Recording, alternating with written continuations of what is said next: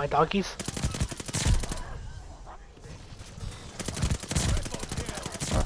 planes all. Go get 'em.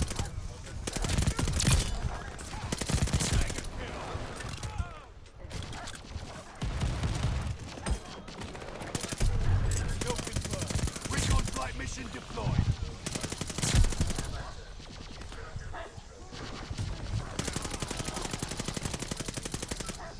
Ready on their Bammy. Attack dogs ready for action. What's going on YouTube? Welcome back to the channel. Hope you guys are having an amazing day today. And yes, today's gameplay, I'm showing you guys my new PR for Call of Duty Vanguard is now 193 kills. And I will admit right now that I was playing in the short map shipment and it was not hardcore, it was regular multiplayer core. And yes, I know people can be like, you know, that's how you get that much kills because you're playing shipment, of course, like the short map. But I'm telling you guys, GG to the other team. The other team was honestly really good. Like I thought was not gonna drop that much kills, but I managed to do so.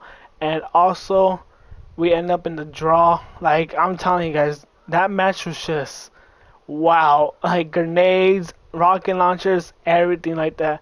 Kill shrieks, like it was just chaotic. Like it was crazy, man. I mean, what you expect is shipment domination. So, with that being said, if you guys are new to the channel, make sure to subscribe to the channel. If you guys enjoy this gameplay, make sure you hit that like button. It will really mean a lot because it will help the video to be pushed to other people. Like I said, it will be much appreciated. Hope you guys enjoy this gameplay. I love you guys, and I catch you guys in the next. Peace. Domination. Move out and secure the objective. You're in the...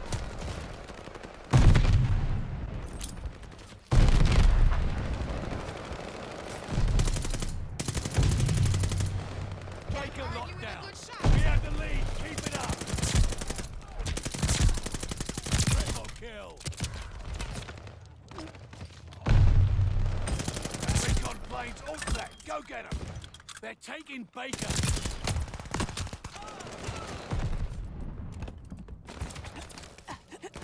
Recon plane cleared for mission.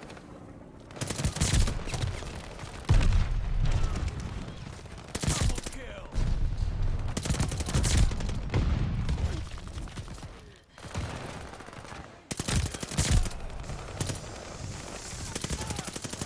Recon mission ready. Spider mode. Double kill. Friendly glide bomber incoming.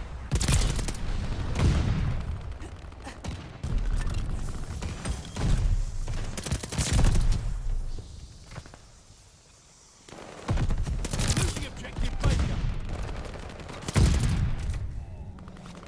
Recon flight mission deployed. Attack dog.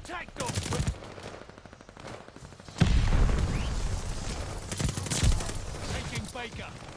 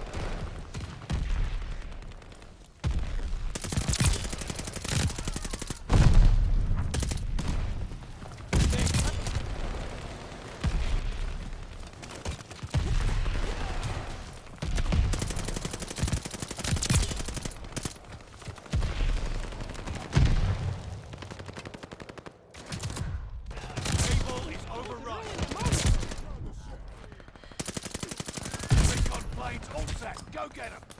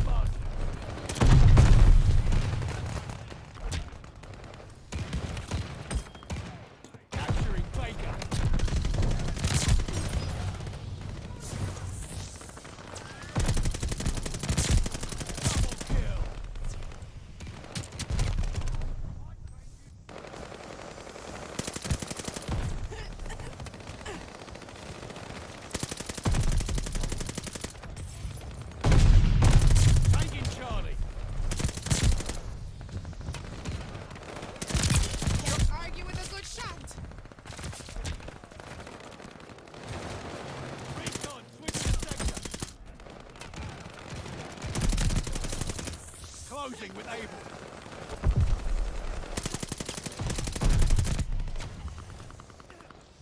They're taking cover! Enemy running recon! They got eyes in the sky!